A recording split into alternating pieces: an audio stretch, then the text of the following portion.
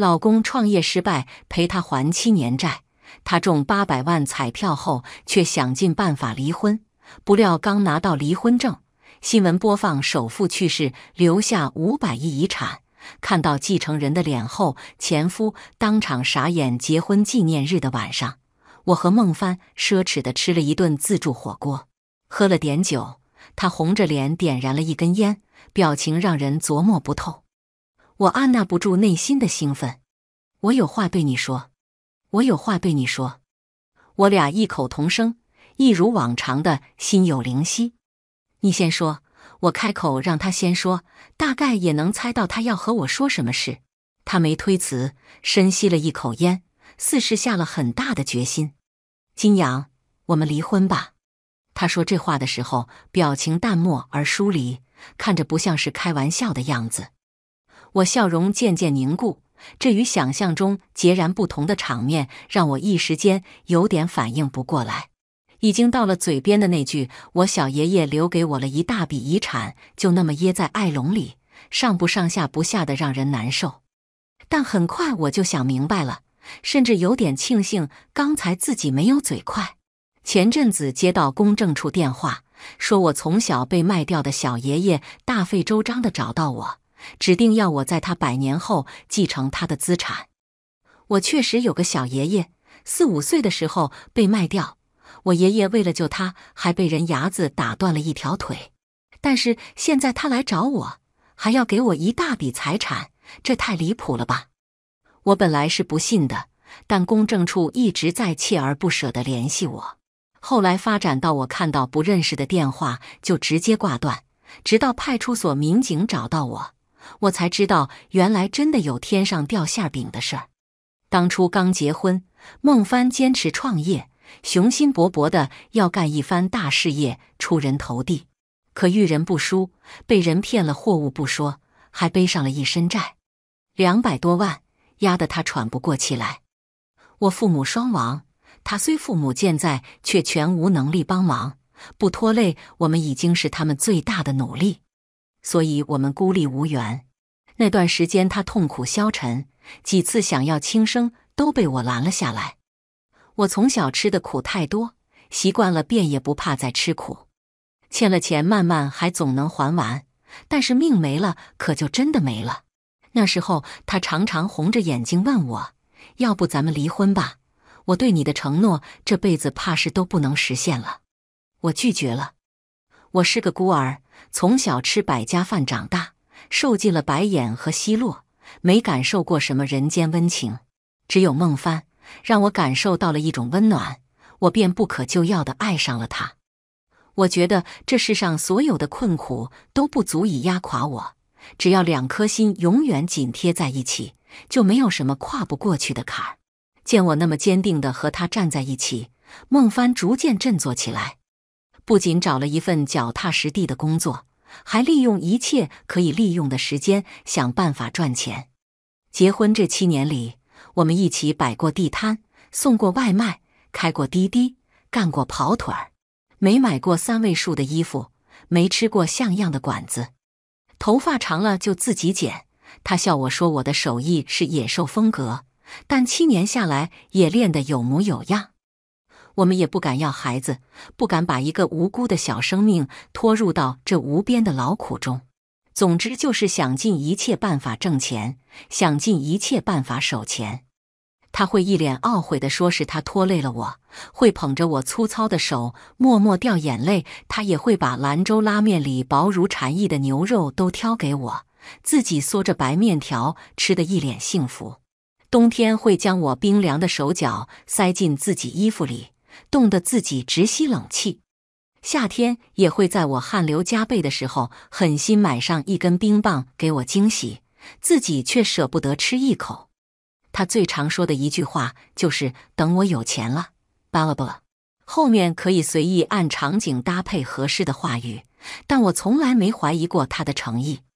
毕竟一起在苦日子里熬着，任凭是谁，都会对美好生活产生一些向往的。我知道我对不起你。可我实在不忍心再拖累你，飘远的思绪被孟帆拉回来。我默不作声地拨弄着手机，落在孟帆眼里就变成了我伤心的模样。见我半晌不说话，他叹了口气，起身准备离开，迈出一步又停下。家里的债务我一个人带走，存款……他顿了一下，存款一人一半吧。我也要吃饭，就这样吧，也没什么好说的了。我还在看手机，这破手机卡的过了这么半天，电子邮箱页面才登上去。看着我即将要继承的资产清单，我心里五味杂陈。他真傻，真的，这么多钱，我差一点就要和他分享了，真的就差一点，他就将攀上一个真正的富婆了，真可惜。孟帆烦闷地抓了抓头发，纠结的眼神又突然变得笃定。就下周一吧。快刀斩乱麻，这样的日子多过一天，对咱俩都是煎熬。他确实太煎熬了，八百万奖金的彩票抓在手里却不敢兑奖，他能不煎熬吗？我嘴角浮起一抹冷笑。我真的要感谢这八百万，让我看清了一个渣男。下周一不行，我用最快的速度接受了眼前人的变心，然后平静的拒绝他。小爷爷病重，想要尽快见我一面。我本来是想带孟帆一起去的，但是现在看来没有那个必要了。而且我也实在心有不甘，有一种邪恶的想法在我脑海里疯狂叫嚣，拖着他，折磨他，让他每天都活在担心中，看看他为了钱到底能做出什么下作的事情。我为了感情和他过了七年苦日子。他有钱以后的第一件事，却是迫不及待的要把我踢掉。那我过去的七年算什么？扶贫吗？自虐吗？他又是怎么看我的？是他还债路上的冤大头吗？我盯着他的眼睛，想要从中看出点什么，却只看到冷漠和疏离。金阳，你别这样，现在分开对咱们都好，你就不要再抓着不放了。你是不是有什么事瞒着我？我明知故问。他目光甚至都没有躲闪，神色自然的，就像是对着镜子演练了几百遍。没有，你怎么又开始瞎想？那我也很自然。下周一我真的有事。要说两个人在一起生活久了，看对方真的就像照镜子一样，有一点不对劲都能看出来。这小半个月以来，我明显感觉到孟帆懈怠了。起因是我发现他微信步数骤然降低，天天占领封面的他突然一连好几天全天步数不破千。要知道他在送外卖呀，从晚饭时间送到凌晨，这正常吗？回来以后也是手机不离手，问他在干什么，他说玩免费的游戏。那两天正是我被公证处骚扰的烦不胜烦的时候，想找他吐吐槽，他却一副根本就不想。搭理我的样子，女人的第六感让我感觉她有事情瞒着我。于是趁他睡熟，我在他手机壳后面的夹层里发现了一张彩票。百度搜索栏里最新的几条记录是：一中彩票了怎么花？中了彩票能说吗？彩票最长兑奖时间？怎么去兑奖最安全？我天真的以为他是想要给我一个惊喜。也正是同一天。我在民警同志的帮助下，证实了继承遗产的真实性。不管是中了彩票，还是天降遗产，我们以后都会是有钱人，都有着同样光明幸福的未来。算命的说，我们三十岁的那一年会时来运转。当初我还不信来着，现在真是打心眼里佩服他算得准。我俩一夜之间都变成了有钱人，我似乎突然有了底气，人也就跟着懈怠了。就像跑一场万米比赛，如果一直坚持着，即使慢也可以勉强跑到终点。但是，一旦停下来，想再跑起来可就难了。我休息了两天，狠狠爱上了那种不用拼命的感觉。于是我萌生了一个大胆的想法，把这泼天的富贵与他分享。往后，我们就躺平做赶鱼，再也不用过苦哈哈紧巴巴的日子了。可惜我还没来得及和他分享我的快乐，他就要跟我离婚了。那么坚持，自始至终也没告诉我他中了八百万这件事。我心里酸涩的发苦，一种铺天盖地的悲凉几乎要将我淹没。原来我心甘情愿的和他共苦，他却丝毫不想与我同甘。这七年我到底图什么？那天我们不欢而散，孟帆以为我是舍不得他，非常耐心的跟我分析利弊，告诉我和他离婚以后会多么多么好，继续过这样的日子会一眼望不到头。他的嘴一张一合，絮絮叨叨说出来的却没有一句是他真正的目的。手机发出破锣一样的声音，那是无数次磕碰外加几次进水导致的。因为修修还能凑合用，就一直没舍得换新的。进来的是条信息，是公证机构发来的办理流程通知，让我尽快提供证明材料。如果材料验证没有问题，随时都可以办理资产过户事宜。我没有继续在孟帆身上浪费时间，打了一辆车赶回住处。曾经他给我提供了情绪价值，让自小缺爱的我体会到了被关爱的感觉。作为代价，我付出一点辛苦也无所谓。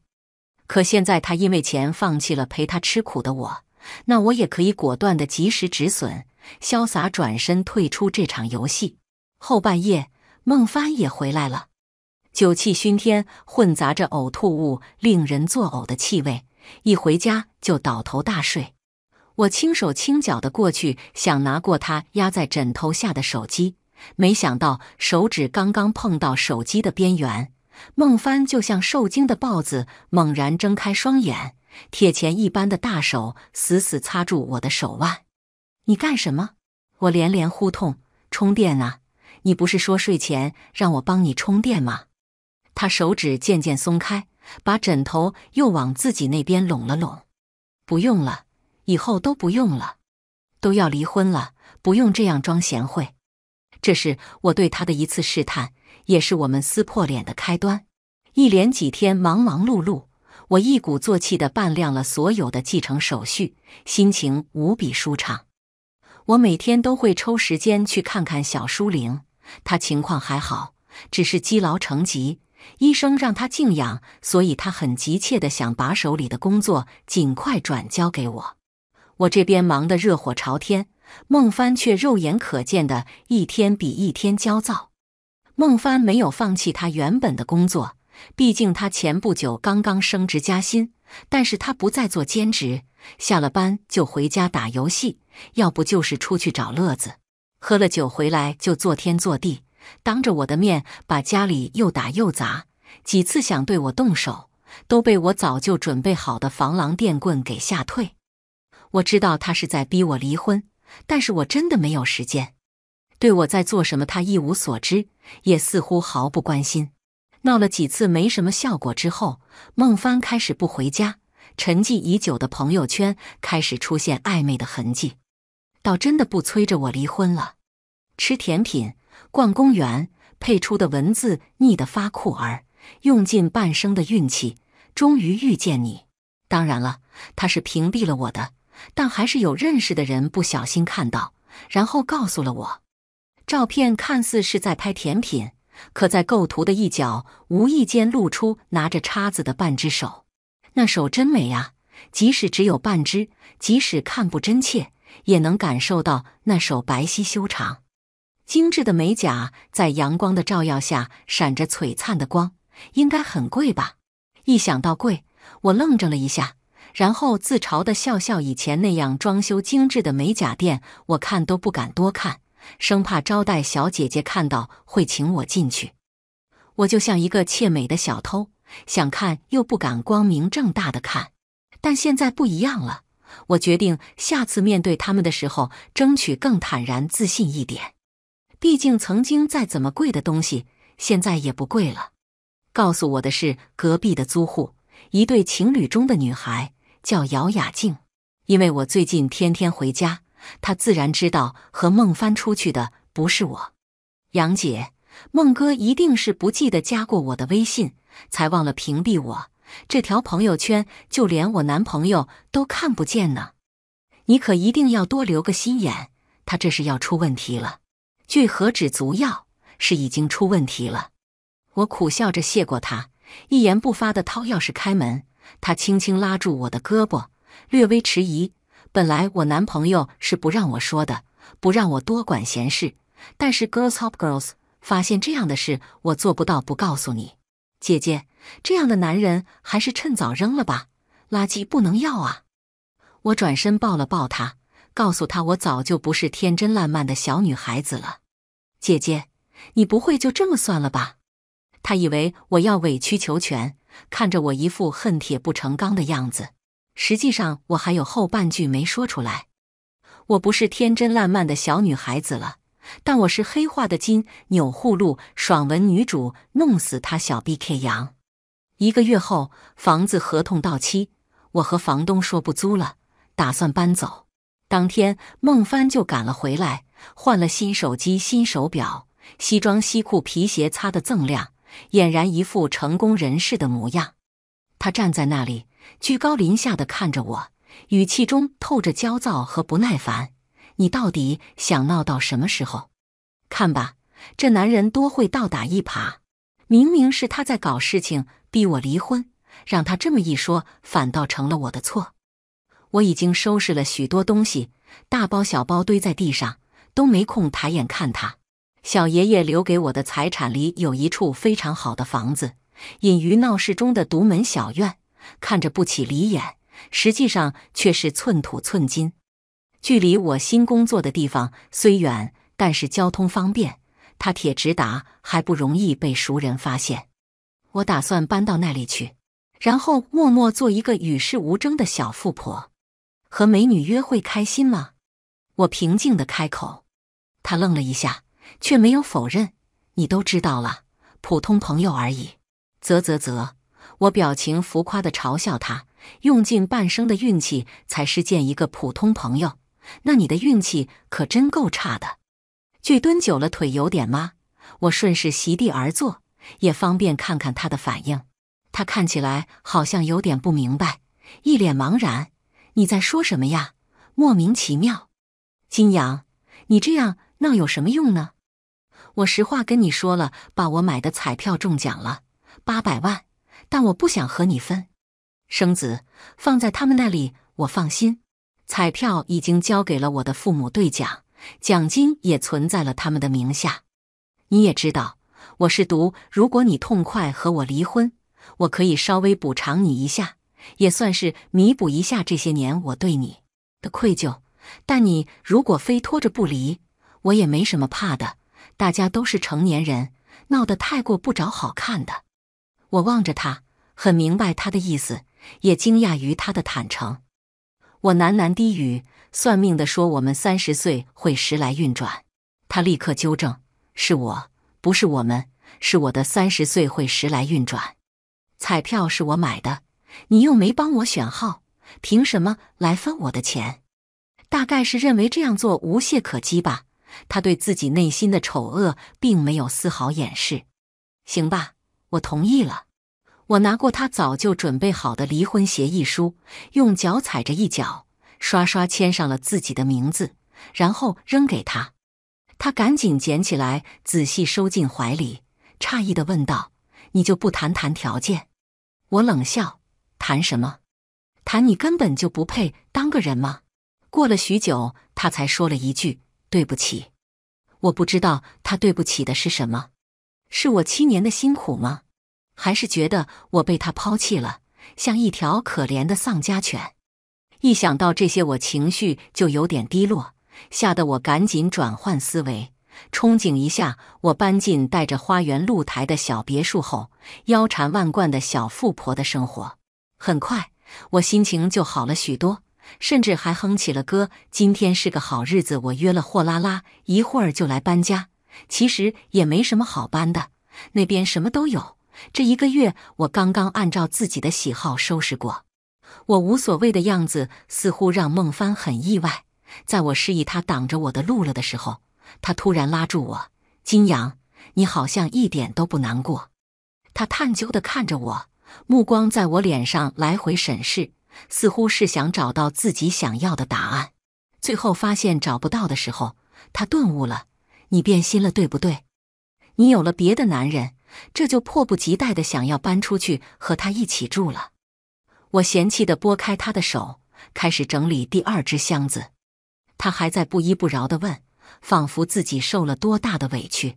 男人真是种奇怪的生物，明明想离婚的是他，变心的也是他，可看到我如此平静坦然的接受了这一切，他又好像自己吃了多大亏一样，似乎只有让我痛哭流涕的摔求他、挽留他，他才会在厌烦中生出一点得意。然后像一个胜利者一样给我一点施舍。如果没有看到自己想要的结果，那他也不但以最大的恶意揣测别人。我没告诉他我为什么不难过，我怕说了他会开心，会在甜言蜜语的哄骗我，而他很清楚，却爱的我最脆弱的所在。现在他的所作所为，就是在给我的脆弱安装铠甲，每一片都正合要害。将我武装到无懈可击。其实我也难过过，但想通了也就不难过了。我为了他已经付出了那么多，现在他背叛我了，我还要为他难过，这好不公平。么过了许久，他没等到想要的答复，自顾自地说道：“也好，现在离婚也算合了你的心意。我就说吧，千算万算，我也算计不过你，最后还是被你摆了一道。”择日不如撞日，今天咱们就去把婚离了吧。我没有拒绝。在去民政局的路上，他梦一般的喃喃自语：“金阳，你得体谅我，我真的是穷怕了。这样抠抠搜搜的日子，我是一天也不想过。真了，人为财死，鸟为食亡，夫妻本是同林鸟，这些道理你都懂。如果换作是你，你也一定会做出和我一样的选择的。”这么多年，他的声音没什么变化。恍惚中，我似乎又听到那个男人带着哭腔哀求：“医生，求求你救救他！他还能看见东西吗？你把我的眼睛换给他，我宁可自己瞎不见了。”那时候我们刚开始还债不久，我过度劳累，在路上晕倒，被送到医院以后，眼睛就看不见了。医生说是因为头部撞击导致的短暂失明。一个月左右就可以恢复，但他还是恨不得把自己的眼镜换给我。他痛哭流涕的样子，一时间成为医院的笑料。大家看到我们，就会笑着打趣：“那个要给老婆换眼的好男人来了。”朝哪边磕头，能遇到这样的男人呢？每当这时候，他都会害羞的挠头，急坏了吗？我也不懂啊。而我则任由一股火热在内心膨胀。坚信自己一定是这个世界上最幸福的人。离婚还有三十天的冷静期，我不想冷静，已经够冷静的了。他也不想冷静，以免夜长梦多。直接起诉吧，会快一点。我提议。他愣了一下，脸上浮起一抹鄙夷的神色。你连这个都咨询过？看来你早就想离婚了。那还假惺惺的装可怜做什么？谁装可怜了？我只是不想再装穷罢了。起诉、调解、意见统一、离婚，一切都顺利的出乎意料。仅仅用了七天，我们就拿到那本印着银色字体的小本本。我没啥感觉，可孟帆的心里应该是如释重负的。他饶有兴味的指着不远处：“要不我送你吧，正好坐坐我的新车。那是一辆景新款的奥迪 Q 七。”六七十万的价格是他的梦中情车。以前他曾说过，一定要带我坐着他的新车兜风，打开天窗，让我在这座城市最宽阔的马路上拥抱最和煦的风。从某种意义上说，现在他真的做到了。可能是捕捉到我有点愣怔的眼神，他的嘴角浮起一丝得意。不敢买太贵的，总不好太张扬。我们老板开的才是一辆。八，走吧，送你回家。我说不了，他硬要拉着我坐。打开导航，我让他跟着导航走就行。他惬意地将自己安置在主驾位置上，然后又以一种带着土包子见世面的姿态向我介绍着这部高级车里的各种功能。他的视线来回在我脸上逡巡，试图捕捉到我艳羡的表情。也是，富贵不还乡，就如锦衣夜行。如果说向谁炫耀更能满足他的虚荣心，那一定是见过他所有落魄的我。婚内买车，你不怕我分走一半？分不走，我爸妈出资的，一看票据就能看出来。我们不再说话，实在话不投机。道路开始拥堵起来，到了中心区，堵车是必然的。知道距离没有多远以后，孟帆开口带上了一点酸：“租住在这样的地方，你找的这个男人有点实力呀。不过跟我比起来还是不行。我马上就要买房子了，以后都不用再看房东的脸色了。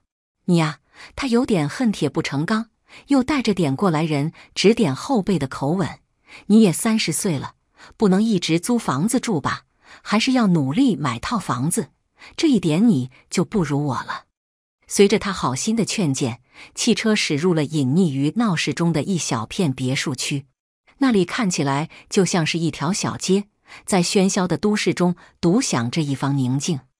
孟帆脸色变了变，看向我的目光中已经带上了不确定的小心。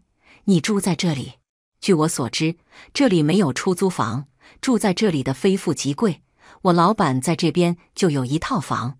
前几年我还过来送过一次东西，我淡淡的哦了一声，示意他停下，然后随手从包里抽出几张钞票扔给他。我到家了，你回去吧。也不知是我幻听了还是什么，总感觉那辆车过了好久才走。不得不说，小爷爷的资产真多，住宅、商铺不说，就是企业和工厂都够我看许多天的了。到了最后一家。也是最大的一家。小爷爷本想亲自送我过去，但是我拒绝了。您不是说现在公司管理有问题吗？不如我先来个微服私访。有些事情高层看不到，换个角度可就不一定了。三天以后，我作为实习生进入了大昌实业股份有限公司，惊讶的发现姚雅静也在。看到我，她有了那么一瞬间的不自在。但是转瞬即逝，杨姐真没想到会在这里遇到你。她穿着一身鹅黄色长裙，更衬得身材修长纤细，只是那微微隆起的小腹显得有些突兀。无名指上一颗平平无奇的素圈戒指却引起了我的注意，我忍不住好奇，什么时候结婚的？我怎么不知道？他神色有些不自然，尴尬的用右手去挡。但我还是看到了指尖的那颗痣，曾经我在某一张照片上见到过。就前些时候，前些时候，他眼神躲闪，那就是你们的不对了。咱们做邻居好几年，你忘了告诉我？怎么小张也忘了？我得找他兴师问罪去。我假装气鼓鼓的就要打电话，姚雅静慌忙拦住了我：“别，不是他。”看着周遭没人注意，他把我拉到了茶水间，再转身，俨然另一副神情。金阳，你别以为我不知道你到这来是干嘛的。既然都已经离婚了，你还纠缠孟帆干什么？他现在是我的老公，你知道你这样叫什么吗？这叫破坏别人家庭的第三者，叫知三当三。我斜靠在茶水台上，玩味似的眼神上下打量着他。嗯。看起来有四个月了吧？是你前男友的，那这事儿孟帆知道吗？还是说这个孩子就是孟帆的？你还没和小张分手的时候，就和孟帆勾搭到一起了？姚雅静显然被我的逻辑搅晕了，她指着我的鼻子，气得满脸通红，指尖都在颤抖。这孩子就是孟帆的，我和小张早就分手了，你不要胡说八道。哦，我恍然大悟。可那时候我和孟帆还没离婚，你就已经怀上了他的孩子。那只三当三的到底是谁呀？不等他说话，我又抢先一步。不对呀，那时候你和小张也还没分手吧？哎呀，那你这身份可就复杂了。知三当三不说，还出轨劈腿，啧啧啧，了不起，真是了不起！一我对他一阵恭维，气得他脸色发紫，伸手就要打我。手到半空，又突然停下。他嘴角噙着冷笑：“你别以为到了这里就万事大吉了，这不还没转正呢吗？你就等着滚蛋吧！”他骄傲的转身离去，走出了六亲不认的步伐。当初在小爷爷的资产清单里看到这家公司时，我就非常意外。竟然是孟帆工作了这么多年的公司，这样的事属实巧合到可以写进小说了。我一直在触埋其他事情，而对家公司避而不见，很大一部分原因就是我不知道要怎么面对孟帆。于公来说，如果他是一个优秀，或者即使只是个称职的员工，我都不能对他带有偏见。但是于私，我做不到。这样的纠遭让我一直逃避接手这家公司，直到我内心建设的足够强大，可以面对以往那些不堪。没想到刚来第一天，竟然就见到了一张老面孔。他的存在让我一直以来的担忧都烟消云散了。正在我打算好好打入基层内部，了解一下公司运营情况的时候，我发现整个写字间的人都开始刻意回避我。他们对我窃窃私语，看向我的眼神中带着鄙夷，避我如同洪水猛兽，甚至什么工作都不交给我，问就是没有，问就是不需要我做。我被孤立了一整天。傍晚的时候要填工作小结，日小结那一栏，我思忖许久，也只能先空着。如此这般，一连好几天，末了还是一个保洁大姨看不下去，偷偷告诉我。姚雅静是采购部孟主管的表妹，孟主管又是董事长亲自提拔的年轻人，谁敢小瞧她？姚雅静什么时候成了孟帆的表妹了？难得有个人肯跟我八卦，我祭出我捧哏的灵魂，忽悠着他继续往下说：“真的呀，还有这事儿，千真万确呀，公司里都传遍了。你刚来不知道吧？咱们董事长原本不姓郑。”他是被卖到这里来的，现在岁数大了，又无儿无女，就一门心思想找到自己原来的家人。你看那个孟帆，工作能力一点不出彩，在采购那块干了那么多年都没出什么成绩，而且据说他还克扣采购资金，吃回扣。就这样，董事长还专门过问提拔了他。你想想，这说明了什么？说明了什么？说明这个孟帆不一般啊！现在好多人都在传这个孟帆，说不定就是董事长找到的自家人，要不然怎么会连总经理都对他客客气气的？他说完这话，审视的眼光开始上上下下打量我，可我怎么看着那眼光中多少带着点鄙夷和可惜。好在大姨那颗八卦的心已经被我充分调动，不用我拱火，他就继续主动往下说。再说说你。你挺好一小姑娘，干啥不好，非要给人当小三？你说你给一个快死的老头子当小三，能捞到什么好处？你这孩子想不明白呀！啊，大姨这话真是给我雷了个外焦里嫩，再也淡定不了。你说我给谁当小三？大姨皱眉，一副我什么都知道，你不要想瞒我的架势。给董事长啊！你看看，连我都知道了。微博上有人发了你进董事长别墅的视频，连门都是自己开的。啧啧啧，没想到董事长都快活不长了，还能金屋藏娇呢。你也是图他啥呀？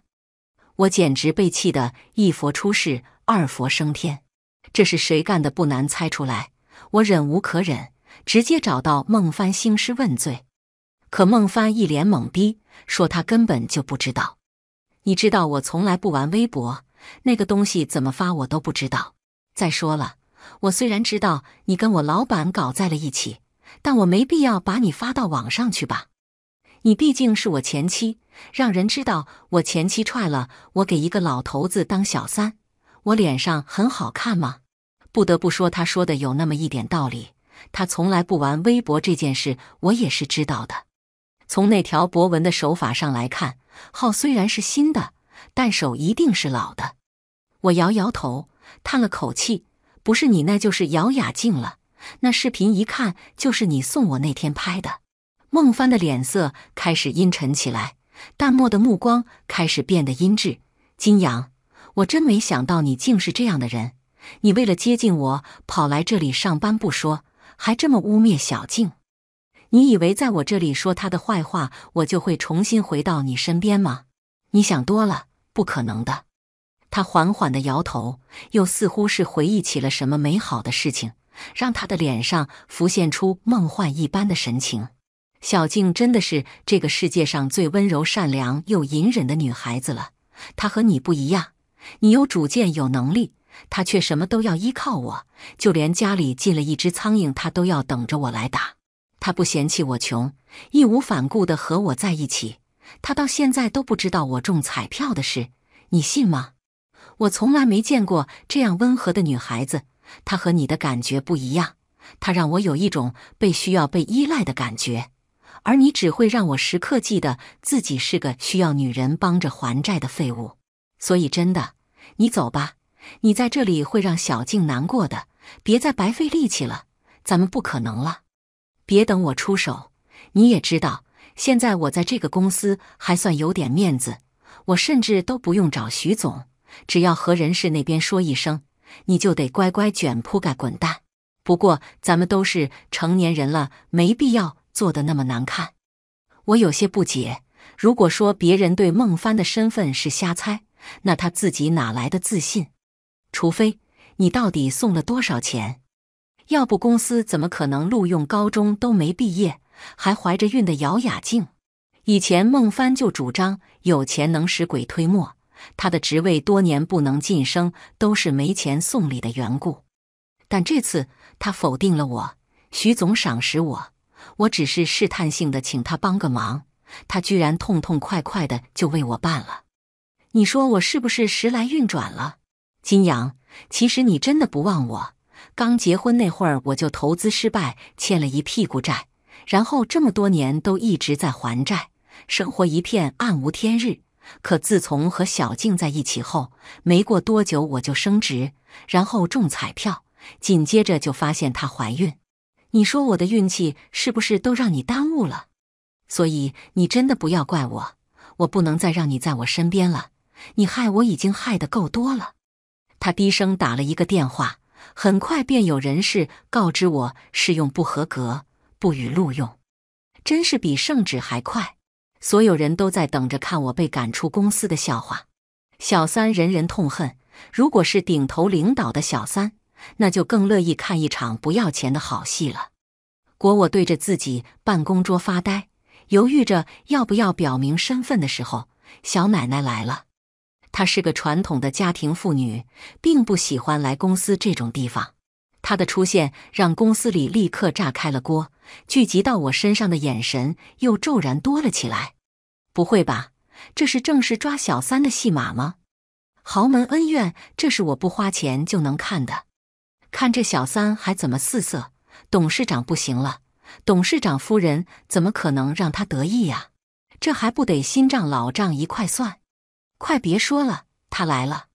小奶奶七十多岁，一头银色短发烫得卷曲蓬松，可能是众人的目光让她有点不舒服。她径直走到我身边：“孩子，你受委屈了，快说罢。”她又转头向着大家，魏雨脸鲜红。今天我来是传达董事长的一个决定辞退采购部的孟凡，别难过了。这话一出，全体哗然，就连平时接触不到的总经理也完全不能淡定。孟帆兢兢业业，辞退他究竟是因为什么理由？如果没有正当原因，怕是会对咱们公司的名誉不利。小奶奶轻轻抚摸着我的头顶，望向我的眼神中满是慈爱。因为她对不住这孩子，这下大家更摸不着头脑了。刚反应过来的孟帆气急败坏的挤过人群，冲到前面，举着的手机屏幕里正描放着我走进别墅大门的视频。凭什么辞退我？这个女人她才有问题。他急慌慌的解释：“您可千万别被他骗了，他是董事长包养的情人。您那套平时不住的别墅，现在就是他在住着。”董事长不行了，想安排好自己的情人，您可千万别被骗了。众目睽睽下，他一口一个情人，一句一个包养。本来暗地里八卦的消息，被他这样堂而皇之的公之于众，我又一次成了众矢之的。小奶奶本来就文静不善言辞，什么时候见过这样的场面？一张原本白皙的脸颊逐渐涨红，胸口剧烈起伏起来，看着吓人。总经理见了，立刻把孟帆隔到了一边，自己当和事佬，说来说去也无非就是给孟帆说好话，贬低我，损斥我。在他眼里，我就是一个快要失去靠山的第三者，没有任何威胁他的能力。一我实在看不下去，起身挡在了小奶奶前面。徐总，你到路收了孟帆多少钱？要为他这么颠倒黑白？徐文达被我戳破了窗户纸。脸上更是青红一阵，但道路多年积淀下来的威严还在，在场的人都不敢当面表现出来。他神色逐渐恢复，语重心长地答复我：“你还小，很多事情都不懂。你不懂，不代表我不知道。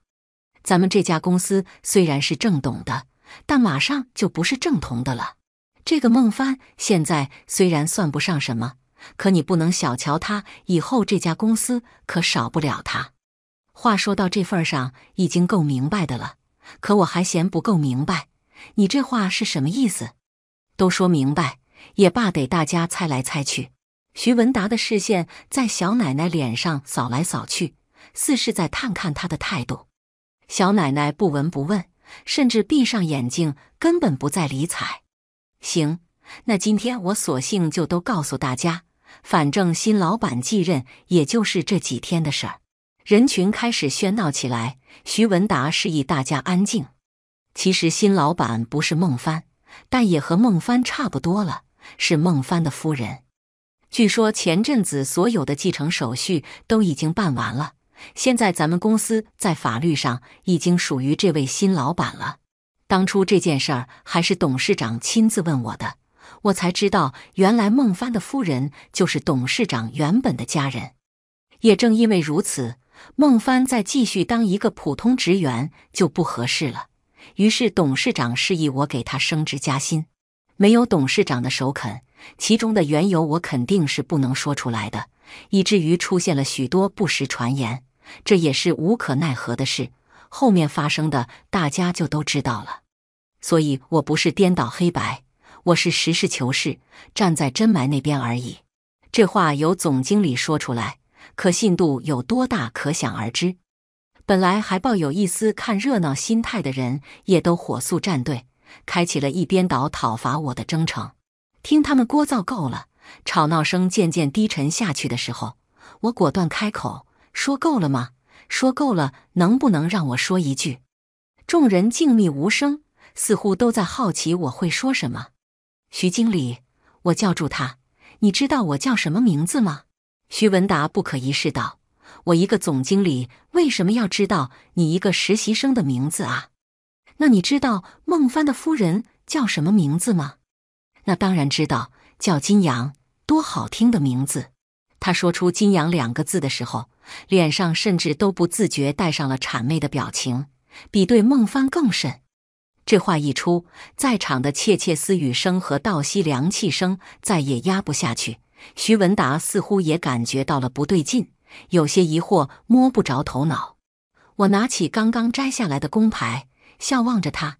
那么就请徐总看看我叫什么名字。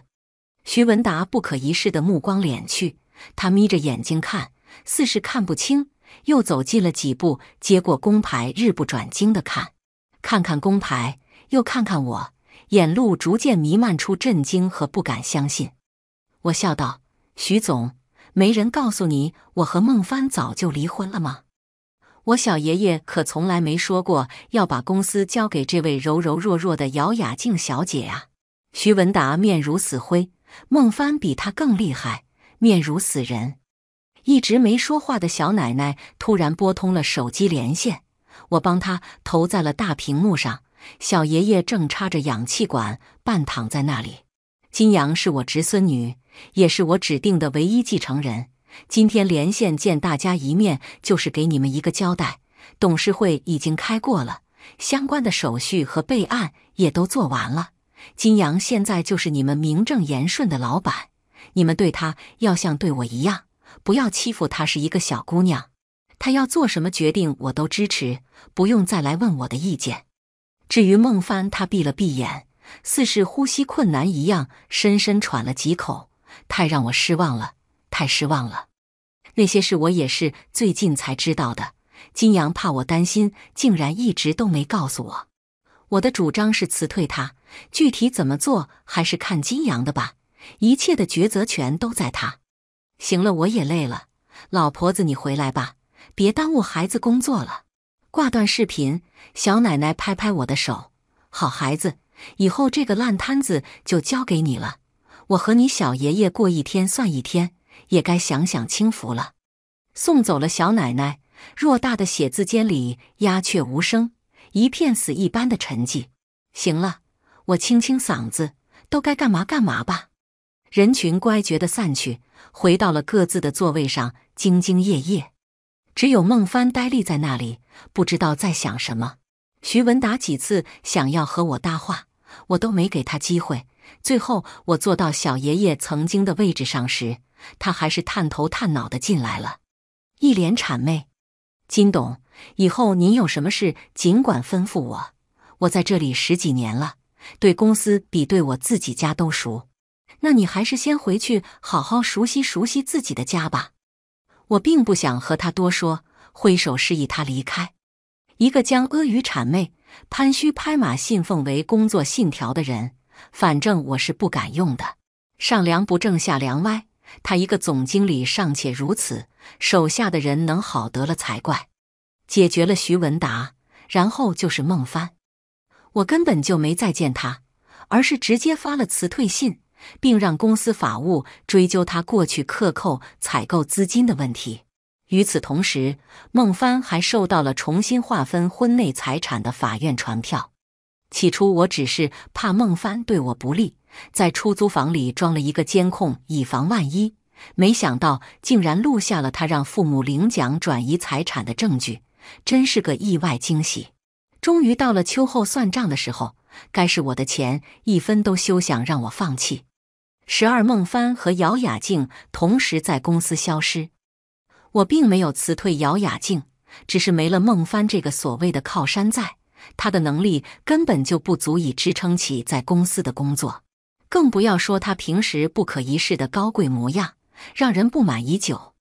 那天我回别墅，没让司机送，而是从地铁站溜溜达达的出来，刚打开院门，突然一股大力将我推进了门内。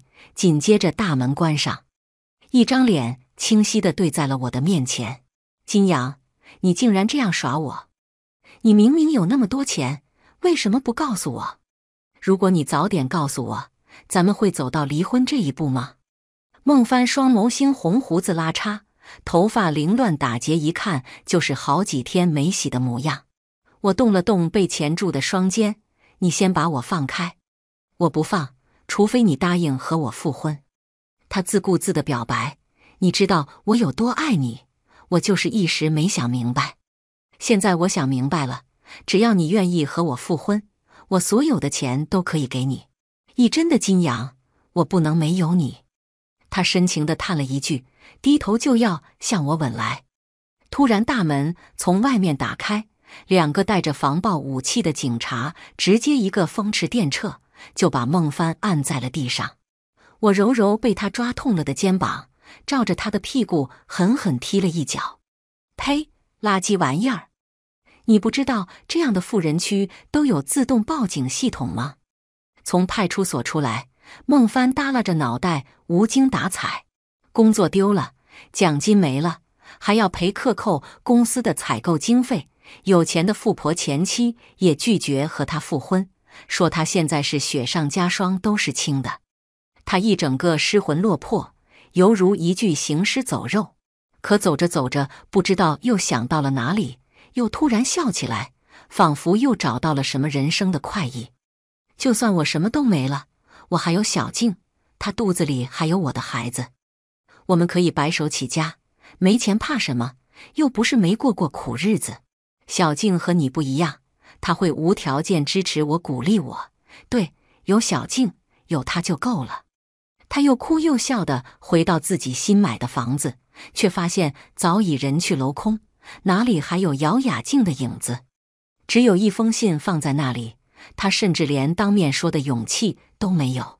孟帆似乎意识到了什么，颤抖着手打开了那封信。十三，姚雅静的信，孟哥，我走了，请不要找我。肚子里的孩子我打掉了，因为不是你的。也许和你在一起从一开始就是个错误，不过就是两个人互相利用罢了。我承认那时候小张对我好，他把我当成他的女神，对我百依百顺。但是他穷啊，天天舍不得吃，舍不得穿。我想买只像样的包，他都拿不出钱。这样的男人，就算他对我再好，又有什么用？后来我无意间发现，你看我的眼神不对劲，只要我稍微示意，你就会赶着贴上来。看，只要我说几句好话，我想要的东西就能从你那里得到：衣服、包包、首饰、化妆品。我想要的这些东西，似乎只需要付出几句恭维。我发现你很享受这种感觉。我越是依赖你，你越是得意。那我也不介意陪你演戏。后来你和杨姐吵架，和我开了几次房，我无意间发现你中了彩票的事，八百万啊，那可是八百万，你竟然一个字都没说。那时候我已经怀上了孩子，算算时间，应该是小张的，但我突然就想让这个孩子是你的。我甩了小张，开始专心攻克你。可你离婚离得真磨叽。我肚子越大就越瞒不住，月份越大打胎就越危险，我不敢再等了。于是我偷拿了你的手机，发了一条仅对我可见的朋友圈，然后截图去向杨姐告状。果然，你们很快就离婚了。你也听话的以最快的速度和我结婚，然后把我介绍到你的公司实习。我以为一切都尘埃落定，终于可以着手打胎的时候，金阳突然来了。起初我以为他是为你来的，我还用你偷拍的那段视频发了微博。可谁能想到，他居然就是董事长找的那个继承人。你丢了工作不说，彩票的奖金也要分他一半，房子和车都是你婚前出全资买的，和我一点关系都没有。我白忙一场，什么都没捞到，还白白丢了一个真心对我好的男朋友。你说我图啥呢？我曾和杨姐说过，垃圾不能要。没想到我自己竟成了捡垃圾的人。再告诉你一遍，我对你的崇拜和依赖都是假的，都是为了钱罢了。离婚手续我也不想办了，实在不愿意见你。等到两年以后，我会起诉离婚。就这样吧，垃圾。孟帆瘫坐在地上，那封长长的信散落在地上。所有的联系方式全都不通，姚雅静彻底在他的世界里消失了。一月之后，案子的判决下来了，八百万奖金除去缴税和婚内共同债务，剩余了差不多六百万。但是这六百万里，孟帆买车七十万，买房二百万，其他林林总总乱七八糟，他自己的三百万竟花的所剩无几。强制分割给我三百万以后，他又变成了穷光蛋。突然，他又想到一种光明的可能，兴冲冲的要求法院立案，金阳婚内继承资产理应有我一半。但法院直接驳回了，人家清清楚楚的指定了继承人，即使是婚姻存续期间内继承，那所有的资产也都只属于金阳一个人，和你没有任何关系。这场官司你不用打。根本没有胜诉的可能。惧碰了钉子的孟帆依旧不死心，又跑来求我，把我堵在了写字楼的大厅里。金阳，你都那么有钱了，那三百万你就别要了呗，要不公司的赔款不要了也行。那不就你一句话的事儿？我站在保安身后，浑身的警觉细胞飘到最高值。公司不是我自己的，你损害的是所有股东的权益。我无权替他们豁免你。至于那三百万，不是你的，你还想尽办法要霸占？那本应是我的，我为什么不要？挺大个人了，别太天真。我在保安的护送下进了电梯，只留下孟帆无能狂怒：“你怎么一有钱就变得这么狠心？你的良心是不是让狗吃了？”我叹了口气，无奈的拿起了手机，告诉公司法务：“那个案子盯紧点。”都这么久了，怎么也没个结果？被我这么一催，果然管用。也不知法务用了什么手段，没过几天直接开庭。孟帆侵占公司财产，除了赔付侵占款项以外，他还荣获三年六个月的免费饭票。孟帆拿不出来钱来赔，结果就是他新买的房子被强制法拍，赔付了公司的款项，而孟帆也将在高墙里踩着吱呀吱呀的缝纫机，思考他这时来运转的三十岁。